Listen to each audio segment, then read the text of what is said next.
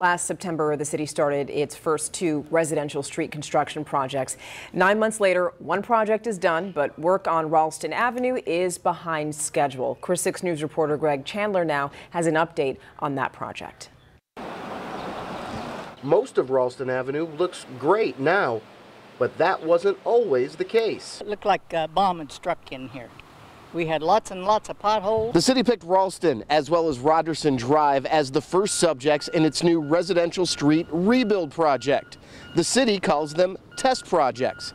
In essence, they're more like trial and error projects. We wanted to see what we could learn from these projects. Um, we're in people's neighborhoods, we're in front of their houses. The projects call for new pavement, new sidewalks, as well as utility work. Both projects were supposed to be done by the end of May. Rogerson is finished, but crews on Ralston fell behind schedule. A lot of different little things can affect a construction date. For instance, there was some additional utility work.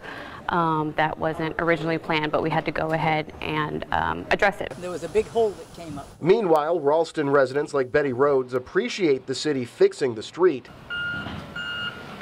They just wish the project would have been done on time in order to limit disruptions to their daily routine. They're working at it, even though they're slower than molasses in January.